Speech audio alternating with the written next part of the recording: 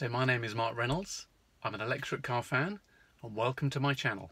If you like the video, please like it, subscribe and feel free to give me any comments uh, in the box below. Have you received this latest update? What do you think about it? Let me know. So I woke up this morning to find a little gift on my phone from Tesla that software update 2020.28.6 is here. So to me this is always quite an exciting time to find out how my car has improved. So let's have a look and see what the improvement consists of. So whenever you've got a new update, the first thing you notice when you come in the car is this screen.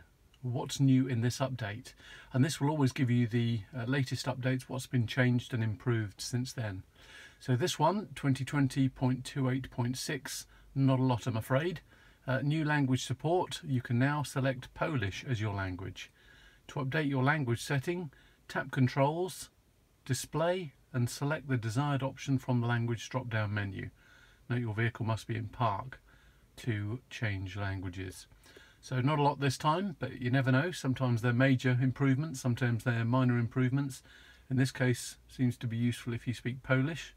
Unfortunately, I don't speak Polish, but uh, we'll see what happens on the next update.